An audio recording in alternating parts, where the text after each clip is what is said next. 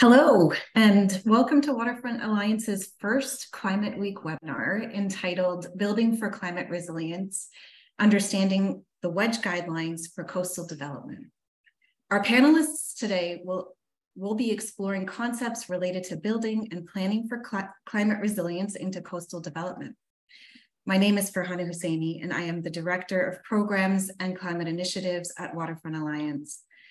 For Climate Week, the Waterfront Alliance will be centering critical climate resilience issues facing New York City through a series of webinars like this one, roundtable discussions, art exhibits, boat tours, and coastal cleanups. We welcome you to visit our website to learn more about our events this week. On the next slide, we will learn more about Waterfront Alliance. The Waterfront Alliance began as a project of the Municipal Art Society of New York. It became an independent organization in 20, 2007 when a group of leading activists, businesses, foundations, and civic organizations came together with the goal of making the New York and New Jersey harbor a shared, resilient, and accessible resource for all. Since then, the Waterfront Alliance has grown into a coalition of more than 1,100 organizations working together to bring about real change to our region's waterways and 700 miles of shoreline. In 2019, the Waterfront Alliance stepped into a new and critical leadership role to define New York Harbor's response to sea level rise and coastal storms. Our crucial long-term focus on increasing waterfront accessibility for all, along with our efforts to advocate for a working waterfront that is a vital source of business activity and well-paying jobs and educating the next generation of waterfront stewards. Continue as essential pillars of our work to create a well-adapted and resilient New York Harbor. And on the next slide, we then see a vision of what success looks like. This is Brooklyn Bridge Park. This image paints a picture of what a resilient, ecological, and accessible design through WEDG, or the Waterfront Edge Design Guidelines, can do for a community. There's so much going on in this one photo. We have direct access to the water, we have kayakers and the beach, which are then protected from waves and currents. You have resilient infrastructure built into the design and habitat space.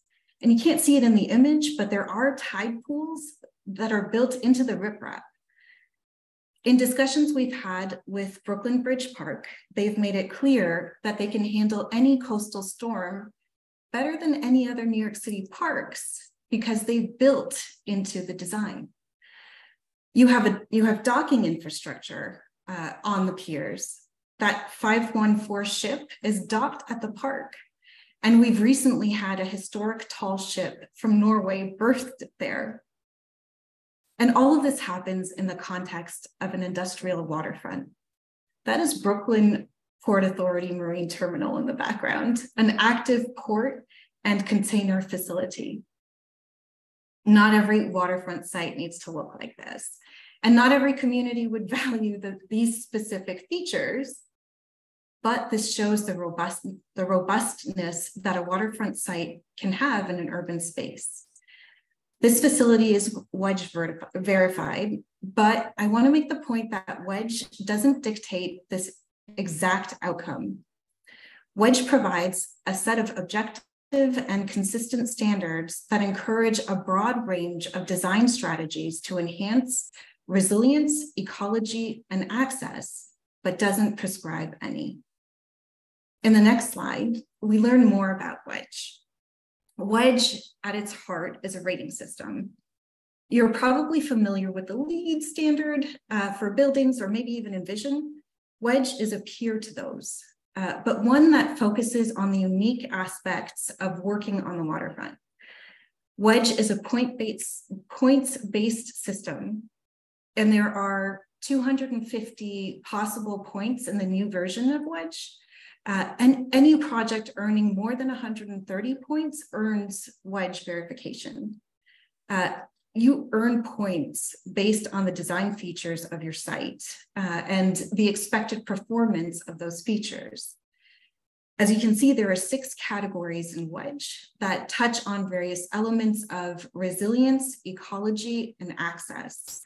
Uh, we look to how uh, projects reduce coastal risk, how they engage communities, and how they protect habitat, and how they structure their shoreline. There are a total of 37 credits in WEDG that measure more than 100 individual performance criteria that we assess for each site. On the next slide, uh, we learn more about the verified projects. There are 12 WEDG verified sites across the country, most of which are in New York City because of the original version of WEDG, which was geared specifically to New York Harbor. But now they include sites in Wilmington, in Miami, and another 11 in multiple states that are in the pipeline currently. Here in New York, you're certainly going to be familiar with uh, sites such as Domino Sugar, uh, Brooklyn Bridge Park, East Side Coastal Resilience, and Hunters Point South. Um, you may be less familiar with some of our industrial sites, uh, Sims Recycling and Oak Point uh, McInnis Cement, for example, Bronx Point, an affordable housing development, or Starlight Park in the Bronx. Um, these are all great places to visit, even the industrial ones. WEDG works with any type of site, uh, except for single family homes. Um, some of the ones in the pipeline include mixed use and market rate development, uh, as well as multiple offshore wind faci port facilities. Um, and then the next slide, uh, we learn more about the WEDG Professionals course. Through WEDG Professional, through the WEDG Professionals course, we've trained more than 500 people on resilient, ecological, and accessible design. Uh, you can access the course at www.wedgeprofessionals.org.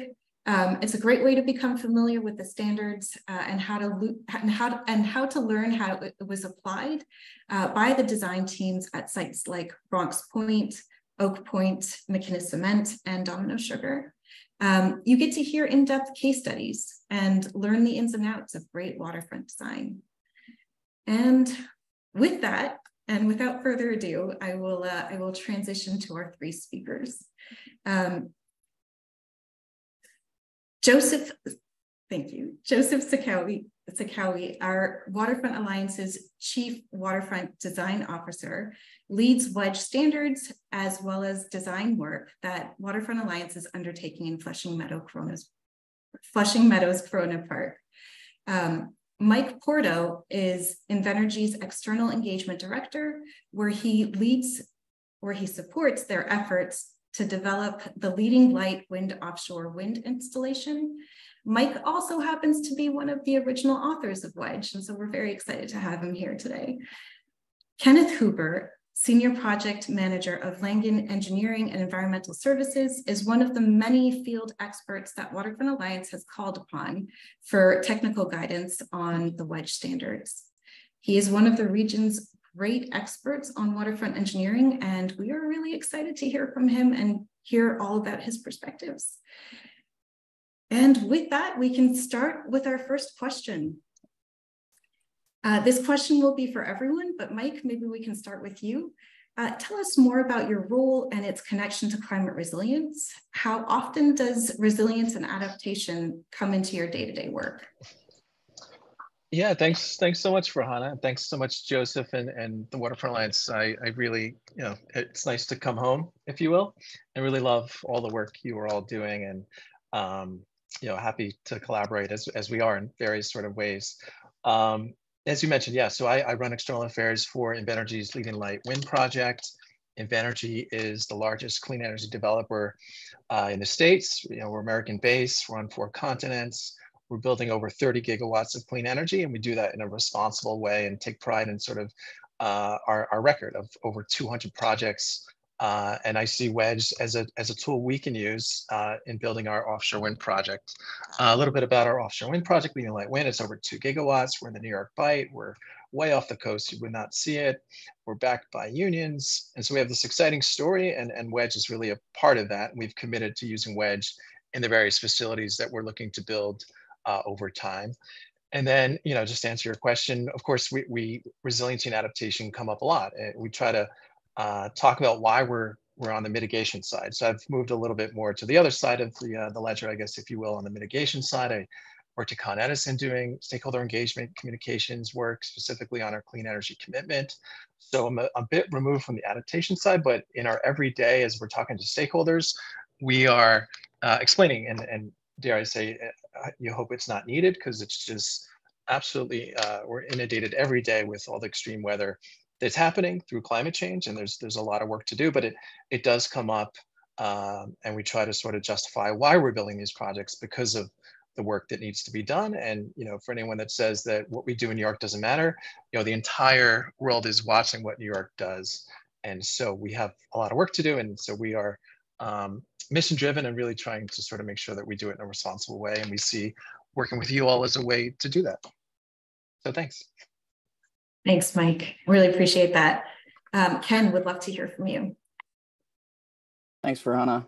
It's great to be here. Um, I've got about 24 years of experience in waterfront. And um, most of that has been within the New York Harbor. And it's been pretty amazing to see the transformation in that 24 years of um, processes and approaches from early in my career until now. It's been really exciting to see um, how resiliency and adaptation have really begun to take hold. And uh, in terms of um, my own role, I focus every day on shoreline protection. So resiliency and adaptation are pretty much the core of my business. I'm doing this uh, several times a week, talking with clients about how to design shorelines and protect them for the future, talking about things like resiliency, sea level rise, flood protection, what happens if you don't do that well, how to do that with uh, more natural or softer solutions than um, the old bulkhead solution or seawall solution that we saw so frequently 20 something years ago. So uh, this is something that I've been involved in every day for a very long time. And it's been really exciting to get involved in WEDG and be able to have some input in um, future versions of WEDG, to be able to, to help train new professionals and how to do resilient design. It's been really exciting to uh, to be a part of that, and I'm thrilled that Waterfront Alliance has really come into this space and encouraged other design professionals to really be considering uh, things like resilient design in their day-to-day applications and even more so with governing agencies and clients encouraging them to see the value in approaching things in this way so it's been it's been really exciting this is something i do every day it's uh, pretty much a core of my business and our model at Langan for how we do uh, shoreline development. So very excited to be here. Thanks, Ken. Uh, Joseph? Yeah, so as, Furhana said, I, I lead the WEDG program. So so my work is the explanation that she gave at the the beginning of the, presentation. Um, that means that for me, resilience is always at, at the top of mind alongside ecology and access because we need to be doing those three things together. Um, what that looks like in practice is, is meeting with pro uh, potential projects, meeting with engineers and architects and landscape architects and planners and, and regulators to talk about the importance of resilience, remind them what the risks are for a site, talk through the opportunities that they, they have to make um, sites resilient, and then meeting with technical experts, whether they're um, folks who are helping us update the standards or reviewers actually conducting a review on, on a project that's pursuing WEDG verification. And we engaging with experts in this in this field all the time so that WEDG can become a um, a harbor for all of the, the information that's out there on resilience that, that we can kind of put that all in, in, in a, a useful kind of summary for the field. Uh, because there aren't a lot of standards out there uh, that deal with, with resilience and, and none of the, none of the other existing standards uh, that do incorporate resilience are waterfront specific. So this really does, does fill a niche. Um, some of my other roles at, at Waterfront Alliance um, are support you know, the intersections of WEDG and offshore wind in the maritime industry. Then I'm also leading our work at Flushing Meadows Corona Park, where we are um, designing um, a series of, of small and mid-scale resilience projects um, that uh, are meant to reduce flooding in the in the park, and that's what Congresswoman Meng's office. Really great. Thanks, Joseph. And actually, the next question goes to you again. Um, what do you think are the biggest climate hazards facing our region today? And how do you think WEDG actually addresses them? So there's there are a number of risks that are out there, and then the intensity of those risks is growing every year as a result of, climate change. The big events like Hurricane Sandy and Ida, they often put those risks on kind of the public's radar, but the threat really is constant. Um, and I put the risk in a couple of different buckets. So there's there's flooding from coastal storm surge, there is extreme precipitation, extreme heat, and then chronic tidal flooding. It also said you we could add another bucket around air quality as we saw from the, the Canadian wildfires this summer. Um, the, these other these other threats are, are things that have uh, uh, the, the potential for resilient design to, to help adapt to them in, in New York locally. So when we think about uh, first one, flooding from coastal storm surge. So flooding is the most expensive disaster nationally. Coastal storm surge, so that so that we're all on the same page, is the water being put inland from waterways during hurricane or other coastal storms. That threat has always existed. There are there have been hurricanes for um, thousands and thousands and thousands of years in, in New York, but climate change is making it worse. So we have the the storms becoming more frequent and more intense because the water, the ocean waters are warmer. And then you have sea level rise that's raising the still water elevation. So even if the storm wasn't stronger, the waves and the, the inland reach of storm surge is higher because the, the baseline sea level is, is higher. And we're looking at hmm. anywhere from three to six feet over the next century in, in New York City. Um, First Street Foundation, which is a, a, a, a great partner and, and, and, does a lot of research on um, climate threats, they did an analysis of the annualized structural damage cost from flooding um, and found that over the next 30 years, it'll exceed $580 million for New York City. And that's an annualized number, not a cumulative number. And that'll happen in one or two acute events. That's a staggering amount of money to hit $580 million a year. And we are second in the country in terms of the, the highest risk, where we, we follow Miami after that. Um, so the part of your question is how WEDG addresses those. So and, as we explained, WEDG is a points-based system, different design features earn you additional points. Coastal flooding is one of the two largest credits in terms of, of point value. So we are pushing projects to elevate, to do setbacks, you know, move further from the water, do dry and wet flood proofing, landscaping protective features, creating floodable spaces where it's okay if the site floods because damage can be minimized. Um, and the scoring for WEDG, the things that we're actually evaluating sites on are what is the design flood elevation? Essentially, how high of water are you protected against? Um, are you protecting neighboring sites? Are you protecting adjacent sites? Um, if you're if you're on a, a, river system, are you protecting upstream and downstream sites? Um, those are some of the things that, that we're looking at. For extreme precipitation, um, which is the other high, highest point value credit is, is focused on um, precipitation-based flooding or pluvial flooding. Um, if we look at New York City's stormwater system, it's designed to handle about one and three quarters inches of rain per hour. In most places, Ida gave us seven inches in an hour. Um, the cloudburst storms that are out there, extreme rainfall events are becoming more and more common.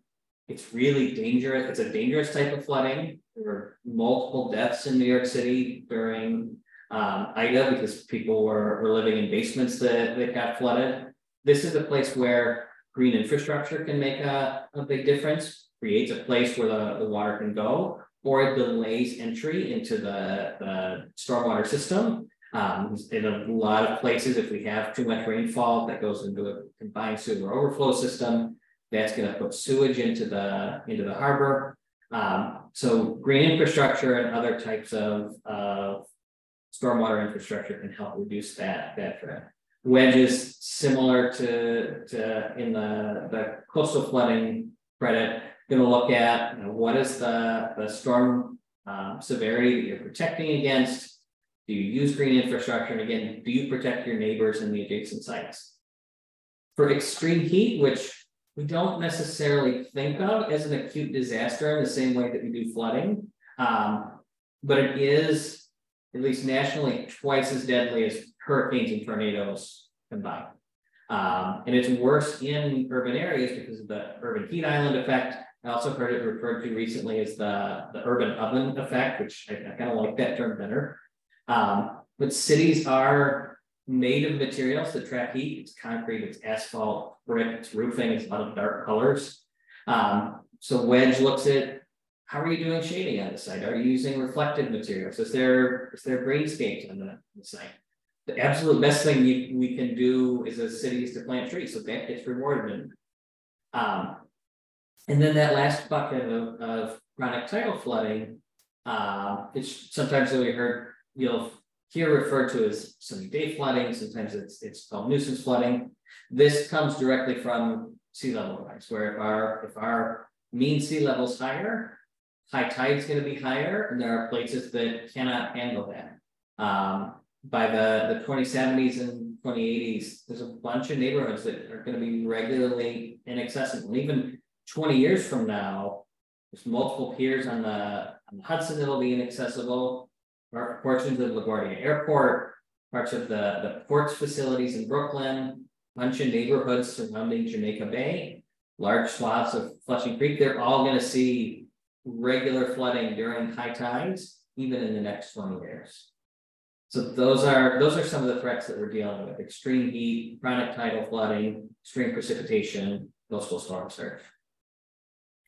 Thanks for sharing, Joseph. Um, Ken, I'm actually curious, given your background uh, and based on what Joseph has shared, um, what do you think, uh, in addition to some of the things that Joseph shared, what are some of the various solutions that can be used to build at the water's edge to prepare for these hazards? And what are some of the ways that these projects in, the, in this region have either mitigated or adapted uh, to climate risk? Sure. Um, so I don't deal with all of those things. I deal primarily with shoreline protection, um, rain rainfall intensity, and things along those lines. So that's that's where my responses will focus. And in terms of um, shoreline protection, there's there's a number of things that need to be considered. So Joe mentioned sea level rise the still water level will continue to rise over time. And that's not a new phenomenon. We've known about this for hundreds of years. It's the climate change piece makes some new variables that are a bit unknown, difficult to predict. But that phenomenon is well known and well documented. It's been happening. So, you know, that, that shouldn't be new and it should not be a surprise. And having to deal with that, sure, there are some new unknowns, but having to deal with that should not be new. And so, you know, some of the common things that are done are things like raising sites, retreating, pushing your building back further so that it can be away from where flooding can happen. One of the things that uh, often comes about with, with flood are increased waves as well. So you've got these large waves plus the storm surge that are coming in at the same time. And those waves can also happen in day-to-day activities, things like the ferries that are passing by your site, throwing up wakes, or just a windy day can be throwing up waves as well. So how we deal with the waves, somehow I lost my video. Can you guys still hear me? We can still hear you. Great, I'll keep going. Uh, so the the way that um, we deal with the waves um, can be really important to how we protect the site. So providing wave breaks or providing shorelines that allow waves to break before they reach sensitive structures can be really important. And that's done by using softer edges or creating a living shoreline or building a wave break, a structural wave break out in the water. Because the flood heights that you see listed on things like the flood insurance rate maps that the, the federal government publishes, they include wave heights in them. So when they report that in this coastal A zone, you've got a um, anticipated 100 year flood at elevation 13, several feet of that is wave. So if I can break those waves and reduce those wave heights, I'm automatically reducing the impact during a flood event. I'm also reducing the impact on day to day sunny type activity with wind driven or wake driven waves. So those sorts of things help protect our shoreline. Uh, softer features tend to absorb more of that energy from the waves and the wind and things like that. So those things respond better, whereas a bulkhead or a seawall, something that's just vertical and flat, reflects back those waves and can actually make things worse for your neighbor or worse at the toe of the wall where it can just scour away and erode that material that's holding up your wall. So those things are, are something that can be considered. Even creating vertical surfaces that are stepped back will help absorb some of that energy. So tiered systems can be helpful in um, protecting the environment uh, from storm-based uh, damage and things like that. Uh, another thing that, that can be considered um, in general when it comes to the storm storm protection are things like mimicking natural systems. So where we can, and, and I'm seeing this more and more, at least in the past few years, where we can create something to reduce the energy to the point that natural based systems can survive and thrive. So maybe we have something like a, a living shoreline breakwater where marine organisms can encrust and inhabit that living shoreline, tide pools, uh, riprap, nicks and crannies that are open to them um, under the water using, using things like oyster baskets to create new reefs, reef balls, things like that, where you're, you're creating this environment where you can reduce the energy before it hits those natural things, and then creating a slowly sloped or tiered system where you have various ecological type of solutions like salt marsh or tide pool, salt marsh, uh, coastal scrub, things like that, that help, number one, to continue to reduce those energies as you move further inland, but also number two, help to treat stormwater as stormwater falls, the natural systems work fantastic, where our wetlands and near wetland type environments actually filter out that stormwater before it gets to the open water body. So green type infrastructure in terms of stormwater systems that encourage infiltration and natural type of filtration um, types of systems also contribute in that shoreline development.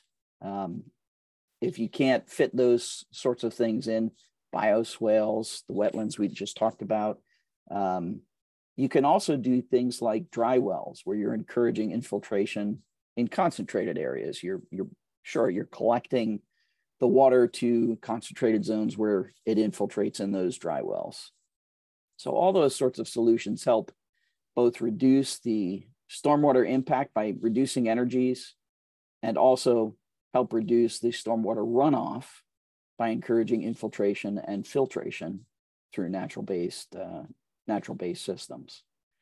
So those sorts of things are, are things that I'm excited about um, implementing and that I've seen implemented in in this region in particular. And as I said, I'm seeing more and more of those softer shorelines where ecology is being embedded into the shoreline systems with respecting the energies that have to be um, dealt with. I mean, that, that sort of solution is somewhat innovative still in New York, but I'm seeing it more and more frequently. And that's really where we need to head that kind of solution. And just throwing natural natural solutions, you know, if you just put a wetland at the East River, it's not going to be there in a year. But if we can do it smart and we're reducing those energies through engineering means combined with natural based resources and building ecologies into those systems, we can do it and they're very effective. Thanks, Ken. This is a this is super informative, and I, I really I appreciate what you're sharing here. And you know, I think Mike, you know, one of the things that that Ken is sort of sharing is that there is there has been sort of an evolution to how some of these issues have been raised over the past decade and how they continue to evolve. Um, as one of the leaders, original leaders, uh, behind sort of creating the WEDG standard, uh, what differences do you see today uh, compared to how you know resilience was talked about in the last 10 years or so? Yeah. Yeah that's great. I've, I've been thinking about this question. It made me sort of look back into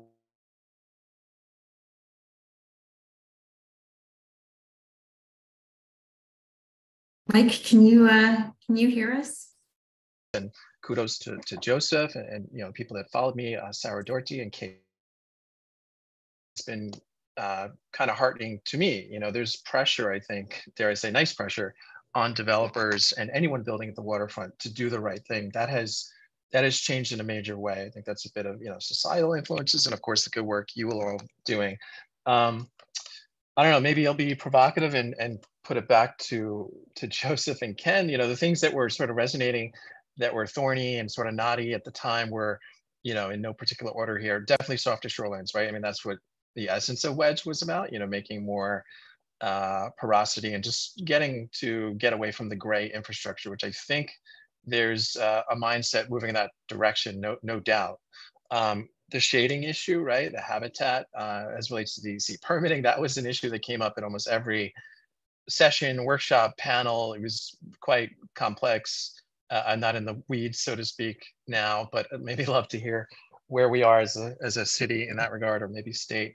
Uh, water dependent uses, right? Like maritime friendly piers was a really big deal. There's there was a loud vocal maritime community that was um, suggesting and, and was at the table about uh, pushing, of course, to to rethink and really sort of evolve our thinking around uh, piers that that are often for maybe um, recreational use, but really trying to sort of, you know, the chicken or the egg issue, right? Like if you build the bollards and you build all the things that a, that a vessel can uh, can can latch onto and, and and embark from, then then they will come. I don't know if we've cracked that nut. Again, I'd love to hear from Ken and Joe. And then you know, strategic retreat, more thorny policy issues. I think you know there's a steady drumbeat and some people leading the tip of the spear in that regard. I'm not sure we've cracked the nut in that regard, and you know that's taking on I think larger forces of, of real estate that that is is is beyond maybe all of us here. But yeah, those are just some things that come to mind. Uh, and and I should mention the disclosure, the ESG movement, the insurance uh, community. Right, we've seen the news with uh, I think Florida and California. The insurance community is very much. Uh, the beast has been awoken. That was something we were trying to crack at the time in 2013 to get them interested in this in this uh, this journey. And and I think maybe they've come come more in tune to sort of protecting their interests in that regard. So I'll just maybe stop there and see if Joseph and Ken have some thoughts on some of the things I threw out there. If if you'll bite. I've already um, talked a little bit about the evolution that I've seen. Um, and I, I would say that the insurance providers have actually been a significant driver in this sort of market space. Okay. And I've seen that frequently where um, clients are coming to us saying, hey, our insurance provider wants this mm. to protect the investment. What can we do to accomplish that? Right. And that's that's great. But what I I think I've also seen an ideal, um, not exclusively, but primarily in the private development sector, rather than public. It's not that I don't do public, I do. It's just I would say about 80% of my work is private, private sector. And I'm seeing a push from the communities that they serve, that these development serves, uh, that desire these sorts of things as well. So it's now marketable for a developer to say, hey, I do this. I've got my WEDG verification. I've, you know, addressed sea level rise. I've got the softer shorelines. Uh, that's beginning to be, and, and, I think that there's still room for growth there, but th- that's beginning to be a market driver as well. Similar to how LEED buildings uh, became a market driver. And That's good. And I, I, I can echo what Ken was saying about the, the insurance industry being a, a big driver behind this, and when we are. When, when we over time revise the standards, we put it in front of insurers. Uh, our technical advisory committee includes an expert on the National Flood Insurance Program, because we want to make sure that. The guidance that WEDG is providing is going to be aligned with things that reduce your premiums that that align with um, FEMA floodproofing credentialing and and um, are going to be things that are demonstrated uh, and tested to reduce the, the risk of a site.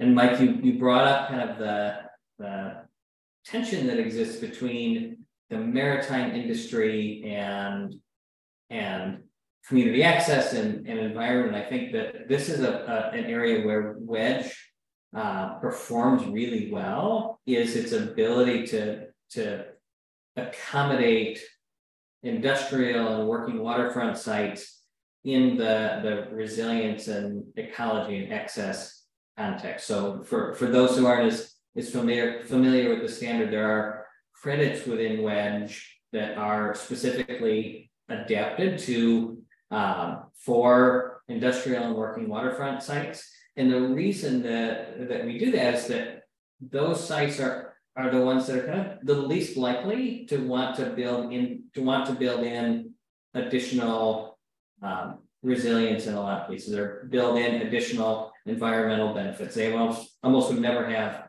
um, public access as a as a priority. But if we can move those sites to do it, that opens up uh, a, a lot of opportunity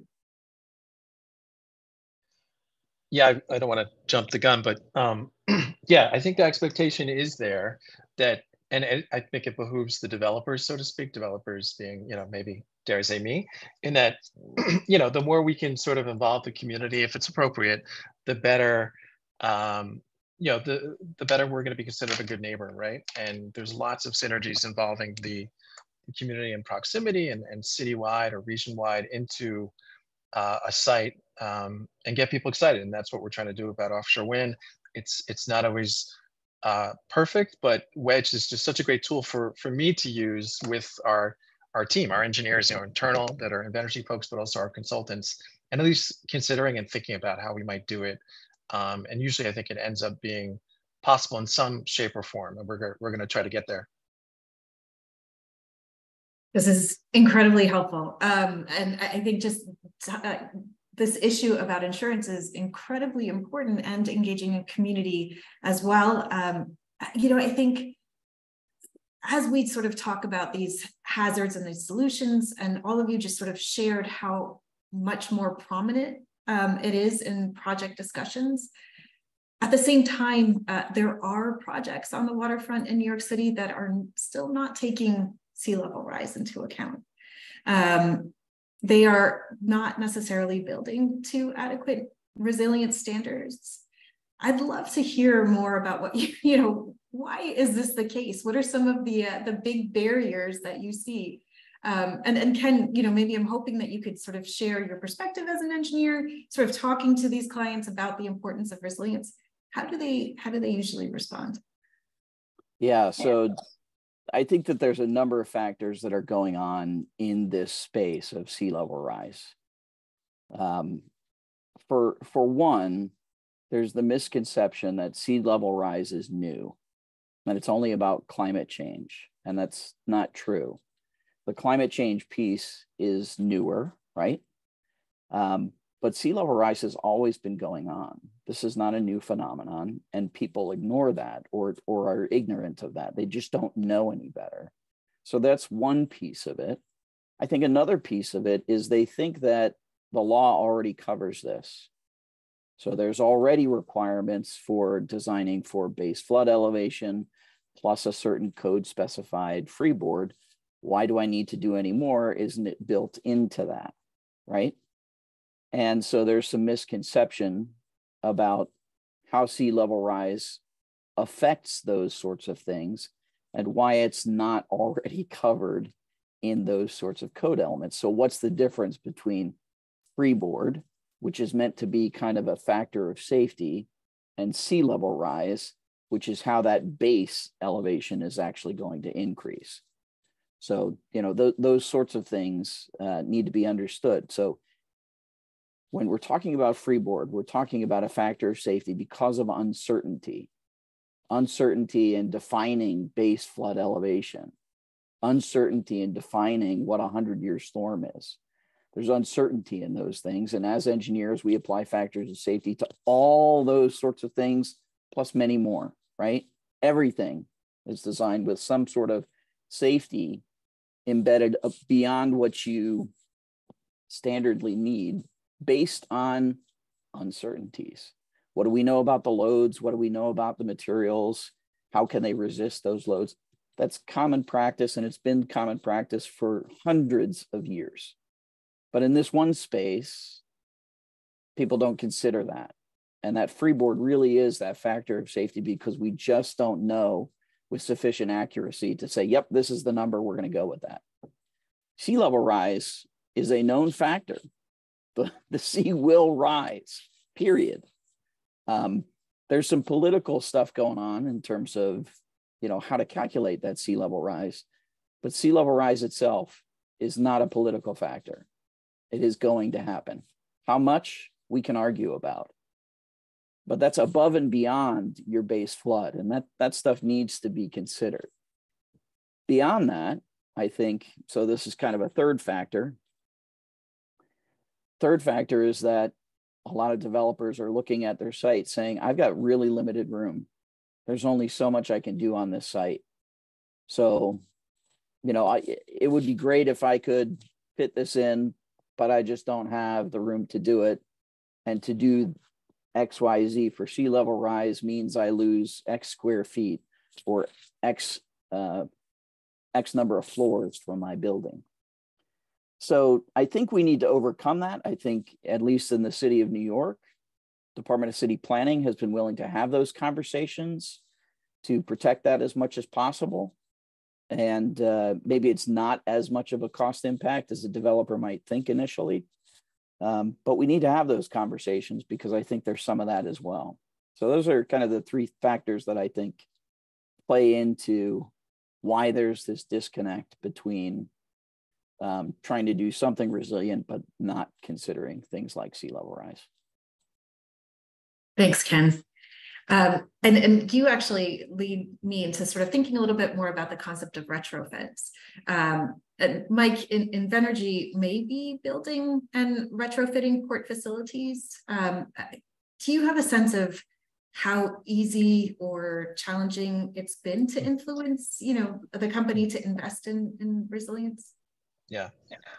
Um, well, I so at myself and, and Sarah are on our team. So Sarah's our community engagement manager formerly at the Waterfront Alliance. So there's there's probably an expectation that we use WEDG, dare I say, and and we're, and we're going to, and we've signed we've signed the commitment letter to do that. You know, the offshore wind space is super competitive. You know, like the world is watching, and uh, it's this amazing opportunity to provide clean energy, but also boost uh, port infrastructure. And you know, Invenergy is committed to sort of doing the right thing and and we want to make sure we do that in in everything we do including the supply chain and the various sort of things and, and be a leader in the sustainable space. So we're going to do everything we can to meet the WEDG guidelines. In new york we are retrofitting dare i say or, or revitalizing a dry dock in brooklyn navy yard which is super exciting uh, especially for someone that lives in brooklyn and, and loves the navy yard. We are going to place our o&m site in, in dry dock 4 it won't just be a place, you know, a home port, if you will, to place our, our vessels at nighttime to service the wind farm. it'll be an innovation hub.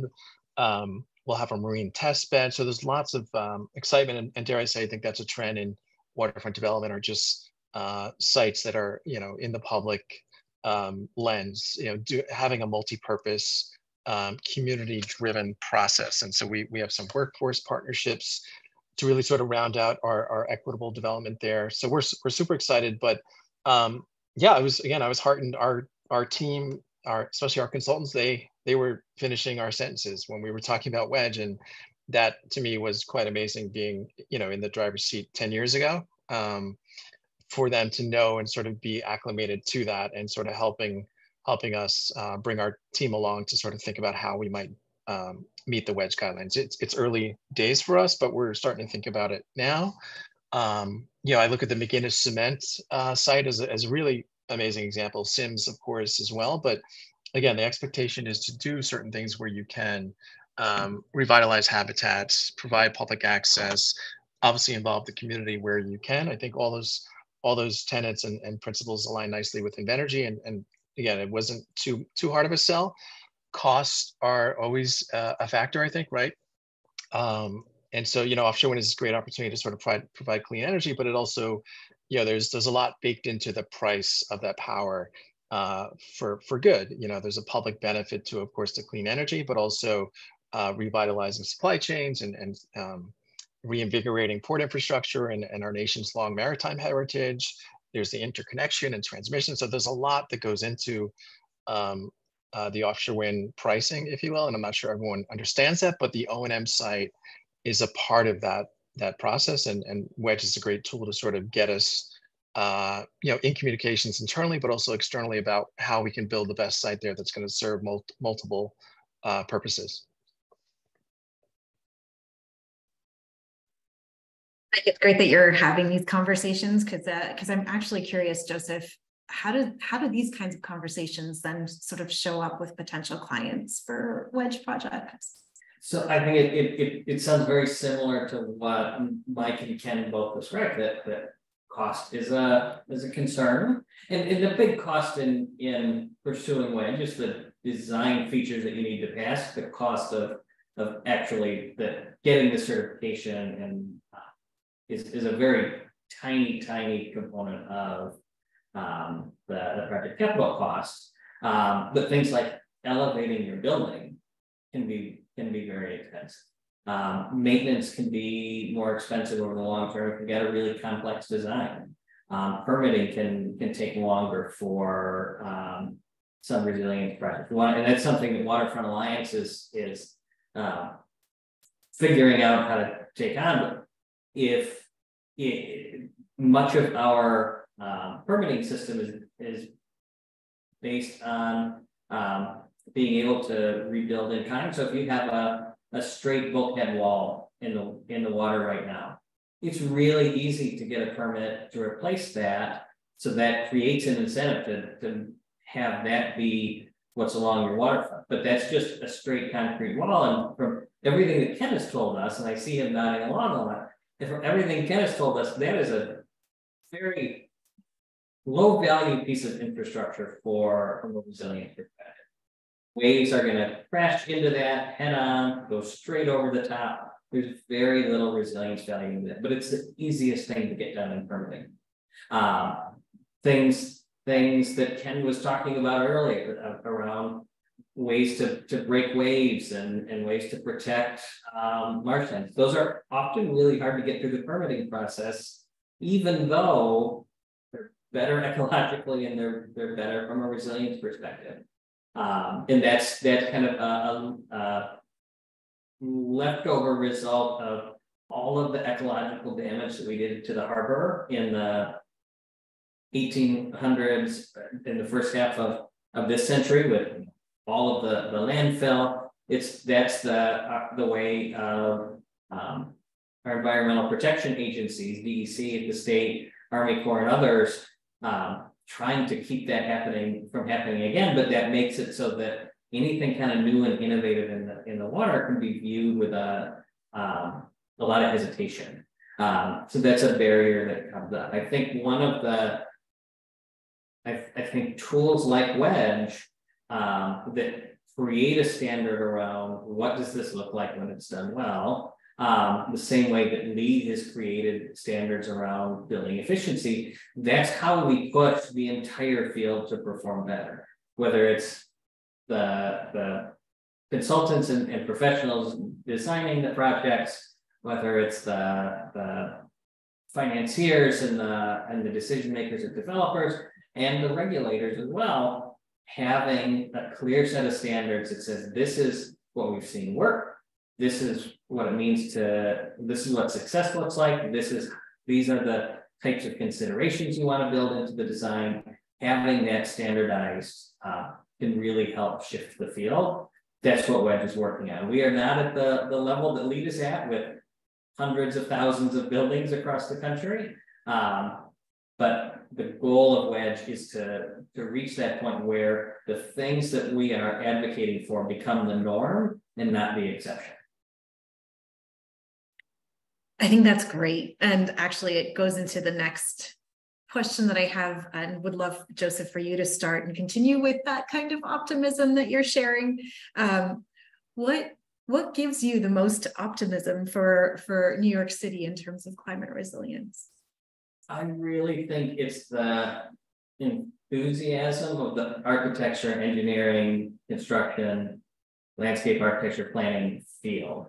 Um, the basically what what we see oftentimes is it's it can be the the folks with the checkbook who are are, are dragging their feet a little bit, but most of the, the the the design firms that are out there, the practitioners that are actually doing creating the the designs, they understand the importance uh, of building resiliently, the amount of enthusiasm and folks like Mike and Ken that actively contribute to to WEDG both on the the technical side they're reviewing projects, they're helping sell it to their and pitch it to their clients. Like there's a lot of enthusiasm around getting or getting waterfront development right and doing it safely. Um, and the fact that so many people are on board with that message gives me a lot of hope for uh, where New York City is 20, 30, 50, 100 years from now. That's great. Um, I see a lot of nods. uh, Mike, I would love to hear from you about what you're most optimistic for. Um, yeah, it's a, it's a great question. I, you have to be optimistic. There's no really time for pess pessimism. And um, I don't know, the I like the idea that it's becoming the norm. It's just, at least in my sort of uh, role at, at WEDG or at Waterfront Alliance, and then 10 years later or so, it, it seems like there's people are getting it to what Joseph was saying, and I'm, I'm, sure Ken would amplify that. People are just getting it, and there's there's really um, uh, a lot of focus. And I think the goal, of course, is to make sure that it's it's not separate and apart from just everyday thinking and designing and planning and, and frankly budgeting. I think the city of New York, I saw, was looking to sort of rethink their budgeting and incorporate climate aspect into that budgeting, which I think is is uh, is is is heartening. You know, like the I, I wouldn't I'd be remiss if I didn't mention like youth education. There's so much focus. There was a climate march. There's there's a next generation of folks that really want to do something, and there's no question if it's happening. So I'm optimistic that they will sort of continue the work that we're all doing. And you know, my my daughter's seven, and she's asking me why we don't have an electric car, and she'll be 34 at 2050. So this is real. This is real stuff here, and we sort of have to get it right. And the mitigation part that I'm working on, I think, obviously will lessen the the adaptation side of the ledger, but there's still uh, we still have to accommodate what's going to happen, and the, and the climate is changing, and that'll happen. I think no matter what, it's just to what degree and intensity. Thanks, Mike. Um, Ken, over to you. Would love to hear more about what what you're thinking. Yeah, I've already hinted at this. I'm I'm pretty excited that I'm seeing uh, more and more developers get on board with this and begin to start a project with the goal of resiliency at the waterfront. And in particular, incorporating ecology, access, and resi- resiliency from the start with their dollars at the shoreline. Um, I'm seeing that more and more frequently. It's becoming um, more frequent in the requests that we get from clients and that really excites me because it means the norm is shifting and it really does need to shift. So that that I would say is probably the most exciting piece. I see the shift beginning to happen. Thank you, Ken. Um, unfortunately, Joseph just uh, just stepped away from his internet for a second. Uh, we will be back on. The internet stepped away from me. You should be able to hear me. Um, so Joseph, actually, just the last question, and hopefully you can hear him. Um, what is next for for WEDG? WEDG has WEDG version 3.0 that will come out on October 23rd. This is about a, a year and a half in the in the making. Uh, the last update to the standard was back in 2019. Um, WEDG version 3.0 is bringing in inland waterways um, to deal with the unique flood dynamics and ecosystems that happen in rivers and lakes and the Great Lakes. Um, we're going to have a couple of launch events for people to be able to learn about that update to the standard coming up on October 23rd, uh, where we'll have a, a, webinar. And then for folks in New York on the 24th, um, over at Chelsea Piers, we'll have a, a live session. Um, I think there will be links to those dropped in the chat if they're not there already. Um, but that's going to be the uh, a great way to learn about the new standard for WEDG associates, folks who have taken the WEDG professionals course. Um, you can extend your WEDG credential, your WEDG associate credential through those, uh, but they're also open for anyone who wants to learn about the, the new standard. Um, we are really excited that that's that's being released. Uh, it makes it a truly nationally applicable standard, um, taking us beyond just uh, just coastal waterways. So that's what's next. Congratulations, that's amazing. Um, with that, so there are a few questions in the Q and A, and uh, and I'd love to be able to go to uh, those questions in the remaining time that we have. Um, I will just uh, I'll pull them up very quickly. Uh, the first question is, uh, you are all sharing some great insights and advice that other places globally can use to enhance their infrastructure in handling coastal problems. Uh, technology can be used not only Technology can be used to not only share, but also improve outcomes for these situations. Beyond creating a standard, are you working with organizations to share these best practices with the world to scale adoption? Um, yes, uh, we definitely are. So, and it, it, goes both ways. So, there's a lot of Dutch influence in the way that um, we talk about coastal flooding and um, flood risk. So we've we've been learning from elsewhere. Waterfront Alliance is a member of ARISE, which is a, a UN connected um, coalition around um, climate hazard reduction. Um, and then we have the WEDG Professionals course, uh, which is accessible to everyone. It's an on-demand, self-paced course at wedgeprofessionals.org. We have people who have taken that course in Canada, Spain, Singapore, um, countries all over the world. Um, so we're we're always excited when people outside of the U.S. Um, pick up red WEDG and, and run with it. Um, I think there's there's lots of opportunity there. Um, Mike or Ken, did you also want to add any other sort of color to that question?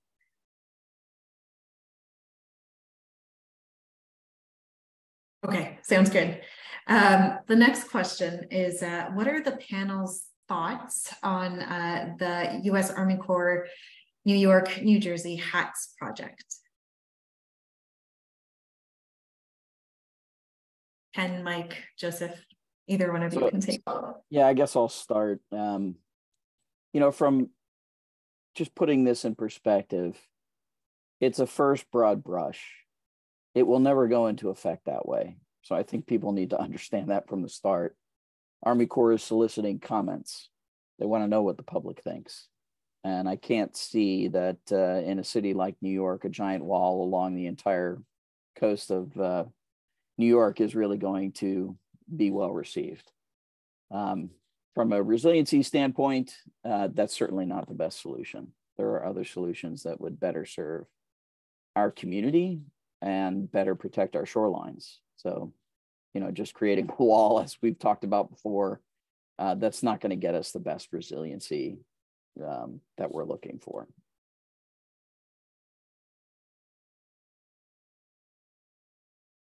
I will take the the easy answer and defer to colleagues. So Wednesday's Waterfront Alliance um, Climate Week webinar. It, it will we'll spend a lot of time talking about uh, the HATS project um, with our um, senior manager for climate policy, Tyler Taba, uh, who's been leading um, engagement with HATS uh, internally here at Waterfront Alliance. It's Wednesday at noon. Um, highly recommend that because they'll they'll focus on that quite a bit. Great, thank you. Um, I think we can take one more question and then we can wrap up. Uh, what best practices are there in making sure buildings beside the water are resilient? I I, I think that um, with any site and every waterfront site is unique. Um, I think it's it's a combination of practices. It's a combination of setting further back away from waves, doing wet and dry flood proofing, elevation changes, breaking the waves. Um, there, there's a number of different uh, uh, of different ways to reduce risk and no single right solution. Um, and I think that when, when you look at um, neighborhoods where there has been a lot of development, you'll see that, you know, one building next to another, they, they've taken different approaches. Um, and that, that type of, or that lack of uniformity is actually okay. Yeah, I just want to add, uh, totally agree with what Joe said. It's really a combination of things, and generally, you want to use a combination of things rather than just one approach. I think early on, the default answer was, oh, we'll just dry flood proof the building. And I want to make a point that dry flood proofing a building is probably the least effective of all of the tools in your toolbox because if you miss one thing, just one thing, the entire system fails. So better to do that combined approach to consider your your siting and your shoreline and um, come up with a number of tools that'll help you address that. Well, thank you, Joseph, Mike, Ken. Uh, really appreciate you being here and for these fantastic insights and for helping to shine a light on key issues related to climate resilience and adaptation. Um, I also want to thank our audience for being here uh, and engaging in this extremely important conversation in the wake of the current climate crisis. Um, we hope that you'll attend the rest of our Climate Week webinars and events uh, and learn more about what the work um, that Waterfront Alliance is doing uh, to prepare our communities for this changing climate. Um, thank you all and, uh, and have a wonderful Climate Week. Thanks, everybody. Thank you so much. Take care. Take care.